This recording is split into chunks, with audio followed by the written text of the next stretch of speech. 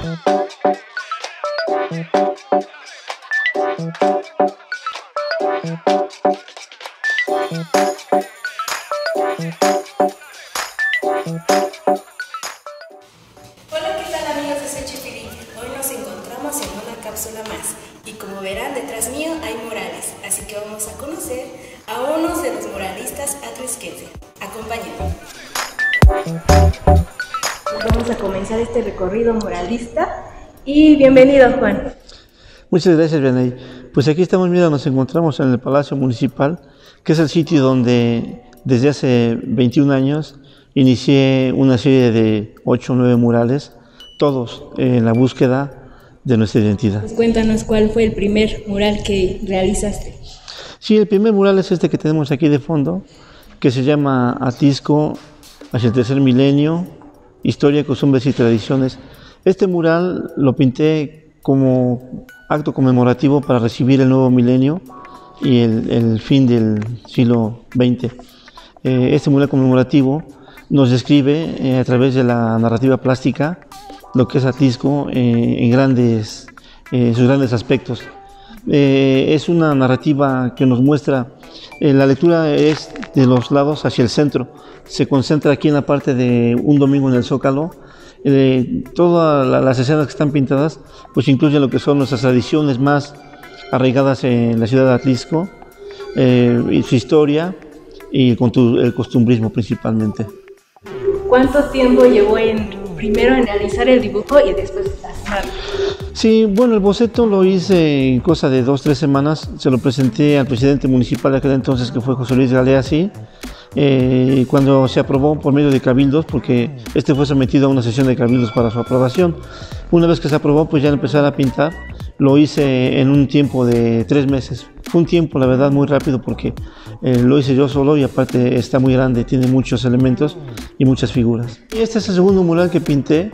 Este ya fue en el 2002 y 2003, eh, bajo eh, la administración de Felipe Velázquez.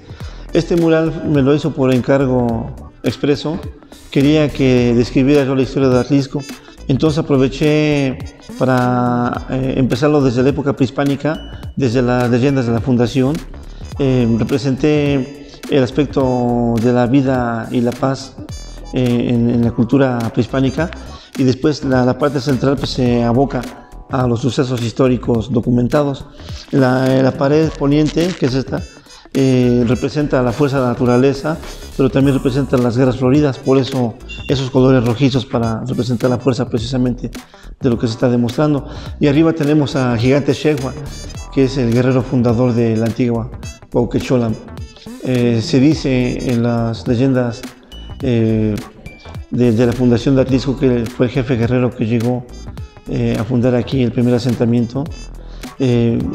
por eso el mural se llama Shehua y de Popeya de Atlisco, porque no es una historia narrada bajo la fidelidad de la historia escrita, sino es una epopeya, es una especie de leyenda, un mito, es una visión idílica de la historia de Atlisco.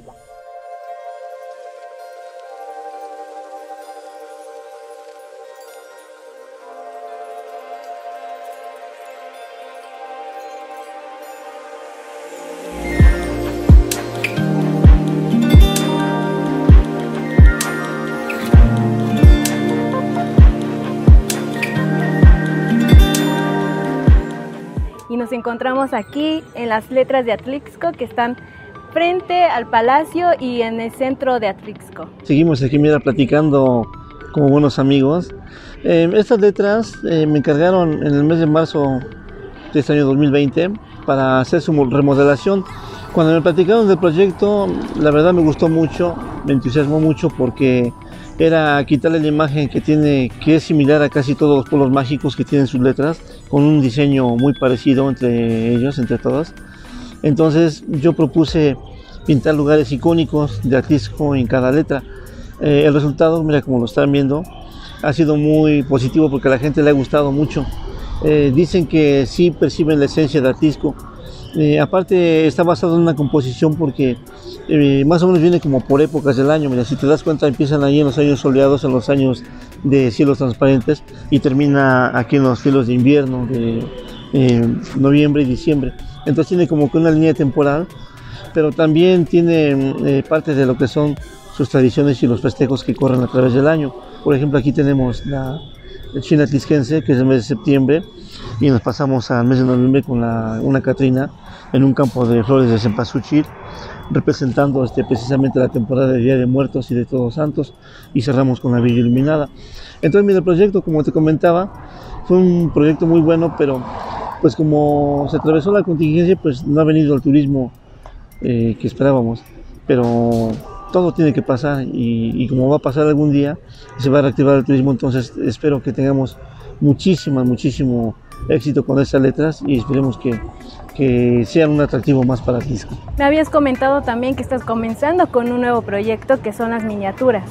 Sí, este nuevo proyecto yo lo he llamado Atlisco Chiquito. Eh, estoy haciendo piezas que son, todos reconocemos aquí en Atlisco. Tenemos el kiosco, tenemos un turibús muy decorado.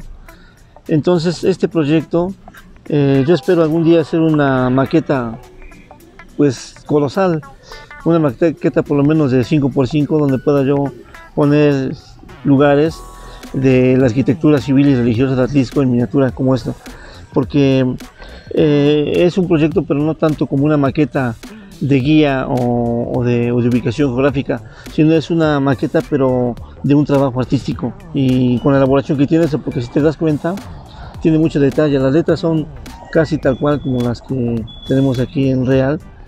Eh, entonces el proyecto es ese, hacer en miniatura eh, varios de los sitios icónicos de Atlisco y también eh, como las banquitas que son tradicionales y que a todo el mundo le gustan y que han tenido mucho éxito. Entonces Atlisco es una ciudad que muestra de ello es la labor artística que están teniendo todos los artistas que están trabajando actualmente, no solo yo, o sea, todo el grupo de artistas que vivimos y trabajamos en Atlisco, estamos demostrando que eh, tenemos mucha fuerza de voluntad y, y estamos yendo hacia adelante. Entonces todo eso va a pasar y Atlisco se va a levantar y vamos a recibir al turismo con los brazos abiertos como siempre ha sido. Pues muchas gracias, Juan. Ahora sí, ya nos vamos despidiendo porque este calorcito nos está... Sí, vamos por un lado. A... sí, ¿verdad? Pues nos vemos para la próxima, así que no se olviden de otra cápsula más aquí en Xochipilli. Gracias, saludos. Bye.